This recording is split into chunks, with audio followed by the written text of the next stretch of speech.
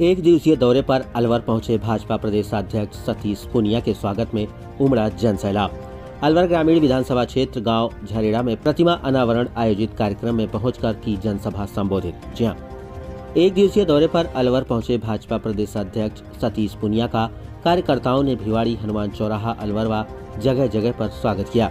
भाजपा प्रदेश अध्यक्ष सतीश पुनिया, अलवर ग्रामीण विधानसभा क्षेत्र गाँव झारेड़ा में प्रतिमा अनावरण कार्यक्रम में शामिल होने पहुँचे, जिनका अलवर ग्रामीण विधानसभा क्षेत्र के गाँवों से पधारे ग्रामीणों ने जमकर स्वागत किया। उन्होंने सभा संबोधित के दौरान कहा कि माता पिता की सेवा ही सबसे बड़ी सेवा है।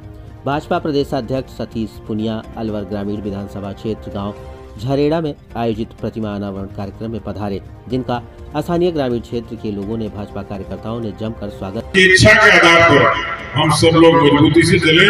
मैं आप सब लोगों के अच्छे स्वास्थ्य की कामना करता हूँ। सभी बस्ती के लोगों को ईश्वर से कामना करूँगा कि खुशहाल रखे। और मैं डीगवाल परिवार का बहुत बहुत आभारी हूँ कि आज इतनी बड़ी संख्या में सब लोगों को आपने आमंत्रित किया और अपने पुरखों की स्मृति में सबको साक्षी बनाया। बहुत बहुत धन्यवाद। जय हिंद, जय भारत। पाँच लाख तक के इलाज की सुविधा आयुष्मान के ज़रिए। और इस तरीके से पूरे देश को बदलने का काम किया। आप सब लोग यहाँ सुरक्षित बैठे हो।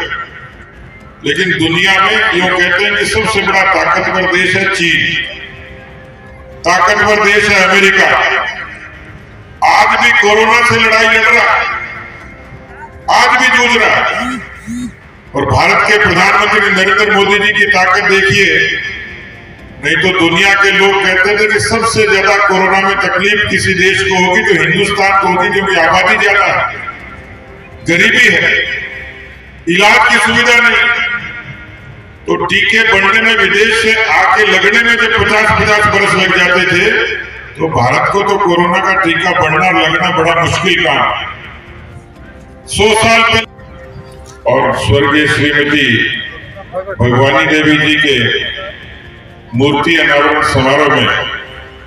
हम सब के बीच में मंच पर बहुत बड़ी बड़ी शख्सियत मेरे साथ विराजमान हैं। हमारे ज़िले के अध्यक्ष भाई संजय सिंह नरुका जी हैं। पूर्व मंत्री हेम सिंह बढ़ाना जी हैं। रामहेत यादव जी हैं।